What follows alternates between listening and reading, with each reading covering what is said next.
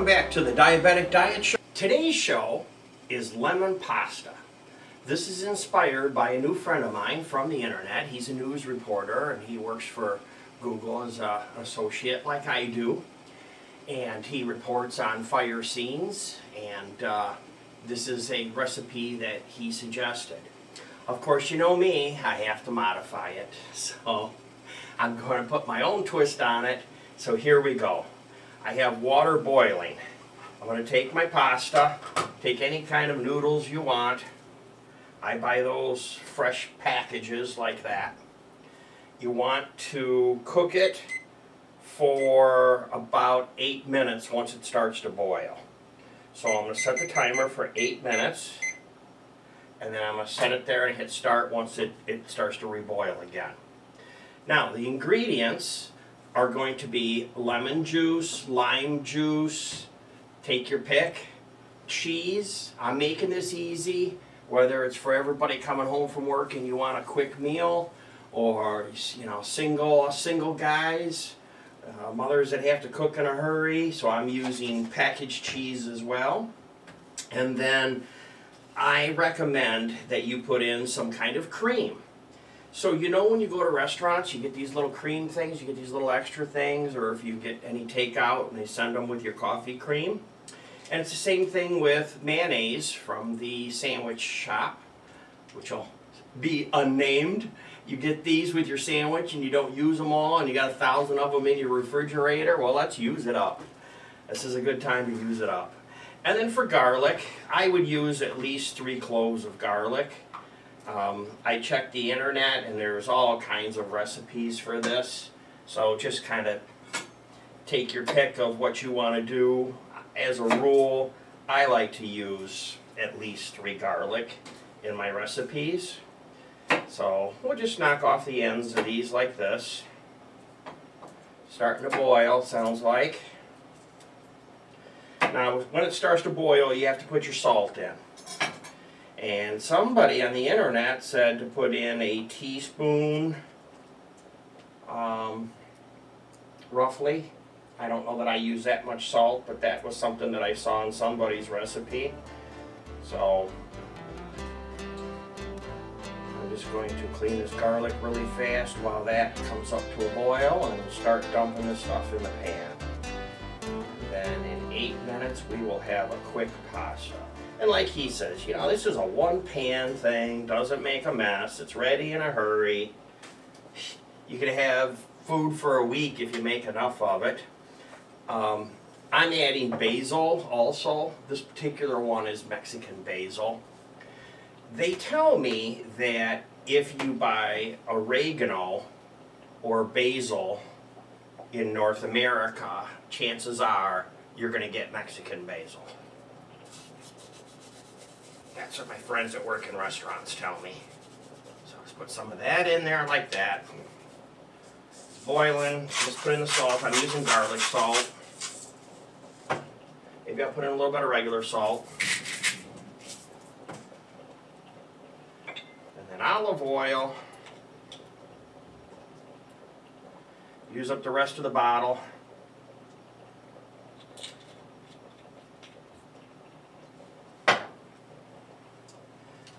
Then mayonnaise.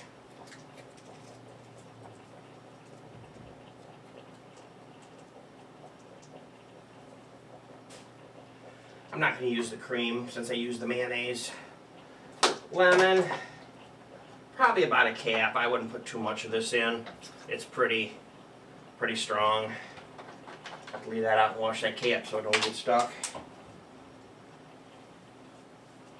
Then I just need to do my garlic.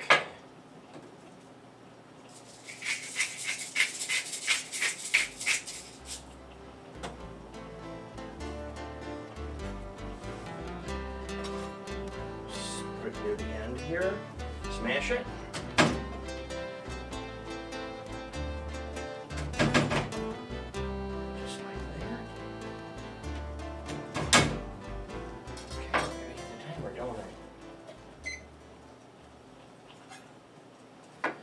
Or ten minutes. I don't think it'll make a big difference. I've seen recipes on the internet where they say 12 minutes. I think what you're supposed to do is check the package of the pasta that you're buying because different pastas have to be cooked for different amounts of time depending on how fresh it is. This pasta that I'm buying is fresh. It's, it's soggy when you get it, it's not dried out. So this is made and brought to the store to be sold as, as fresh. Let's just let that sit for a minute. And I will grab some tongs here to kind of start to toss it around a little bit. My noodles apart here. Oodles and oodles of noodles.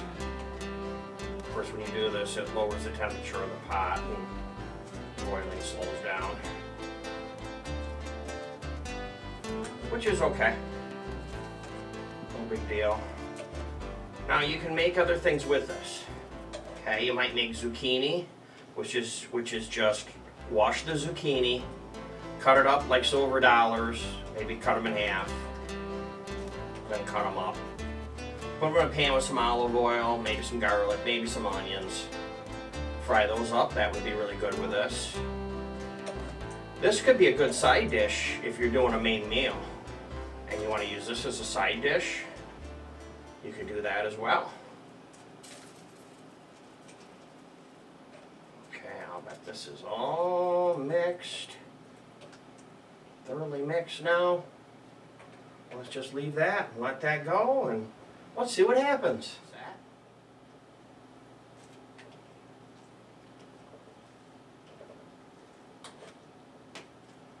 So you just let this sit now, just let it cook. See what it does. It's been boiling for a few minutes. I'm going to go ahead and put my butter in now. Didn't want to put it in earlier because I don't want it to be too far gone.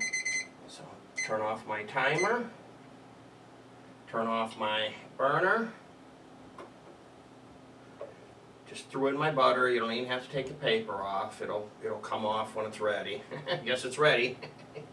you throw that butter in, in hot water, that paper comes off in a hurry. Okay, now that butter will just sit in there and melt like that. I'm going to pull it off the hot burner, put it on a cool one, let it cruise for just a couple of minutes. While that's going, I'm going to make some squash. You know, when you're cooking one thing, you might as well cook another. And this squash I'm going to cook ahead for tomorrow's dinner. Right dish. So I'm going to make a squash. Now, it's real easy to make these. All you do is you cut the squash, you put some olive oil and salt and pepper on it, you put it on a baking sheet with the parchment paper, and I buy the parchment paper at the grocery store in these boxes. I get them where they're pre-made for a cookie sheet. Very helpful, so you don't have to cut or mess with them. And there's really nothing to this. I preheat the oven to 350 degrees, and then I just put it in for about 20 minutes. So the hard thing is to cut these. These little rascals are tough. So just be careful. Cut the middle, nice and slow, like I'm doing there. See, straight down, and then pull down.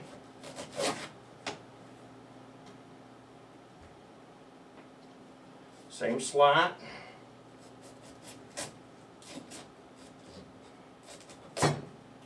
Use a big knife. Make sure it's a sharp one.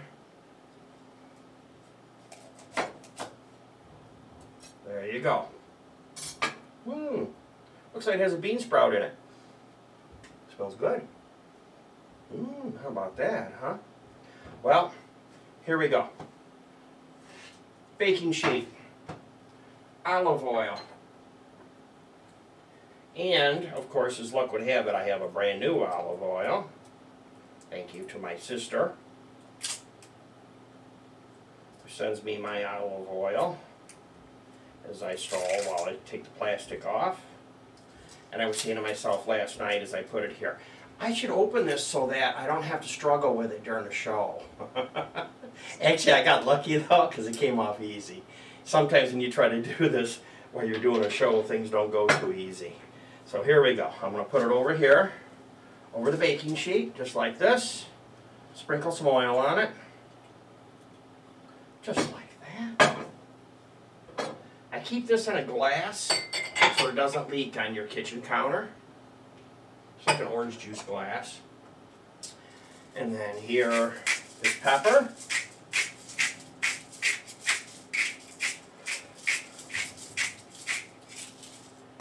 And here is salt.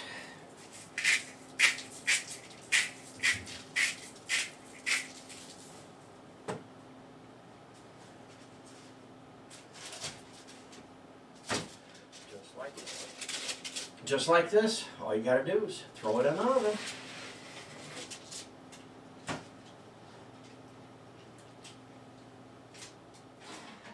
Well, the pasta is all cooked. Here we go. I didn't even drain it. I just let it sit there for a minute and cool off. I've heard cooks say they don't run it under cold water. They just take it off the burner and serve it up in the plate. So here we go. This is a lot of pasta. This is probably enough for two in this package. Or I might have leftovers. Let's see. Let's see how much it makes, just that one package. That'll be good for a hearty eater. But I'll bet the package was made for two people.